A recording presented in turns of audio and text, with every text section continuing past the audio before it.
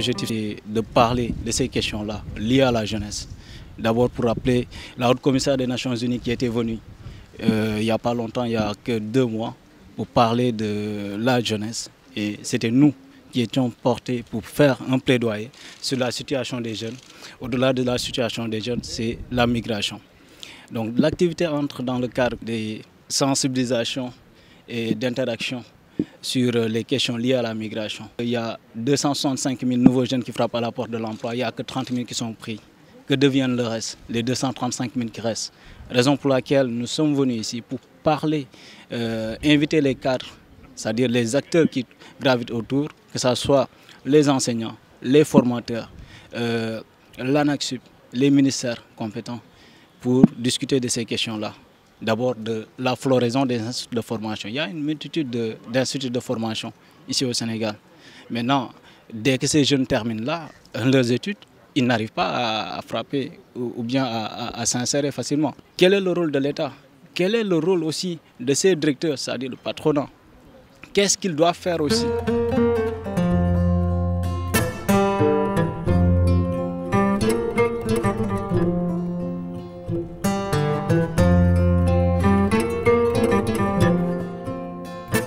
Considérons qu'une formation de qualité doit tenir compte des réalités locales, mais elle doit permettre aussi aux apprenants de s'ouvrir au monde. Parce qu'aujourd'hui, le monde, comme le dit Marshall McLuhan, est devenu un village planétaire. Former quelqu'un au Sénégal, mais qui soit opérationnel aux États-Unis.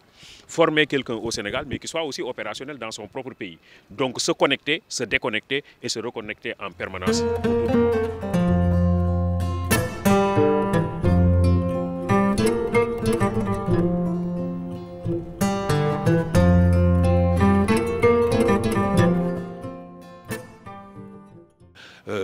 95% de l'économie, c'est de l'économie informelle. Qu'est-ce qu'on fait pour ces TPE, pour ces petites entreprises, pour ces moyennes entreprises? On ne doit pas regarder ici à IM que les grandes entreprises. On doit regarder la diversité et la réalité africaine dans, tout ce qu'elle a et tout ce qui fait vivre en réalité euh, le continent aujourd'hui. On a aujourd'hui, dans ceux qui vont sortir, à peu près 4 sur 5 ou 3 sur 4, ben, à peu près cette proportion-là, qui vont être nécessairement auto-entrepreneurs. C'est-à-dire que les grandes entreprises que l'on connaît vont jamais créer assez d'emplois pour employer les, jeunes avec des emplois, donc on dit des CDI ou des CDD comme on a l'habitude de dire.